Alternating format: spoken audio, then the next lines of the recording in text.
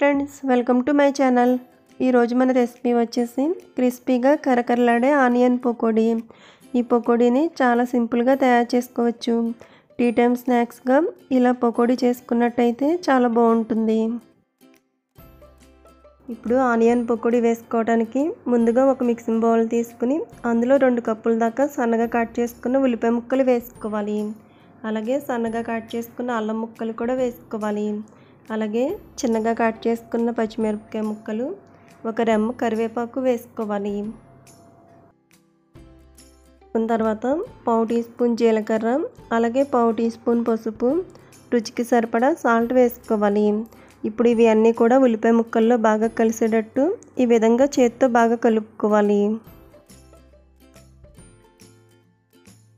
ఉల్లిపాయల్లో ఉన్న వాటర్ అంతా కూడా బయటకు వచ్చేటట్టు ఈ విధంగా చేత్తో నలుపుకోవాలి.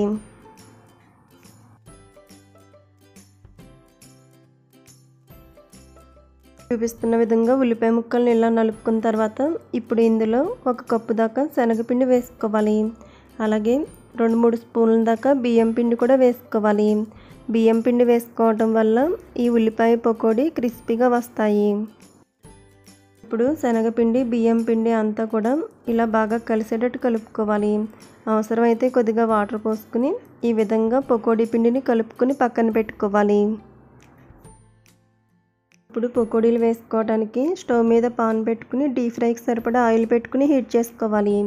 ఆయిల్ బాగా హీట్ అయిన తర్వాత ఇప్పుడు మంటను మీడియం ఫ్లేమ్లోకి అడ్జస్ట్ చేసుకుని ఇక్కడ చూపిస్తున్న విధంగా ఇలా చిన్న చిన్న పకోడీల్లో వేసుకోవాలి.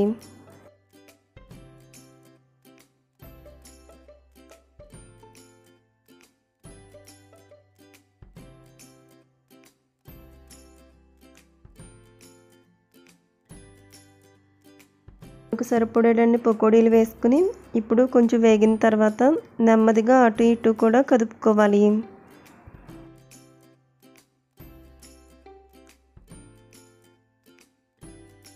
విధంగా అటు ఇటు కూడా కదుపుకుంటూ పకోడీలన్నీ కూడా ఈవెన్గా గోల్డ్ కలర్లోకి వచ్చే వరకు వేగించుకోవాలి. చూస్తున్న విధంగా పకోడీలు ఇలా వేగిన తర్వాత ఇప్పుడు వీటిని ఆయిల్లో నుండి తీసుకుందాం.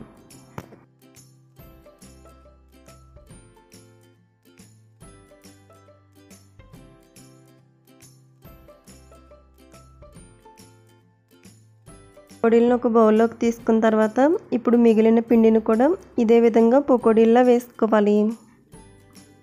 పానుకు సరిపడేనన్ని వేసుకుని అటు ఇటు కూడా ఈవెన్గా వేగేటట్టు గోల్డ్ కలర్లోకి వచ్చే వరకు వేగించుకోవాలి. గోల్డ్ కలర్లోకి వచ్చిన తర్వాత వీటిని కూడా ఒక బౌల్లోకి తీసుకుని ఇప్పుడు ఇదే ఆయిల్లో పొడుగ్గా కట్ చేసుకున్న పచ్చిమిర్చి చీలికలు ఒక రెమ్మ కరివేపాకు కూడా వేసుకుని వేగించుకోవాలి. మిరపకాయ ముక్కలు కూడా ఇలా వేగిన తర్వాత ఇప్పుడు వీటిని ఆయిల్లో నుండి ఒక ప్లేట్లోకి తీసుకుందాం.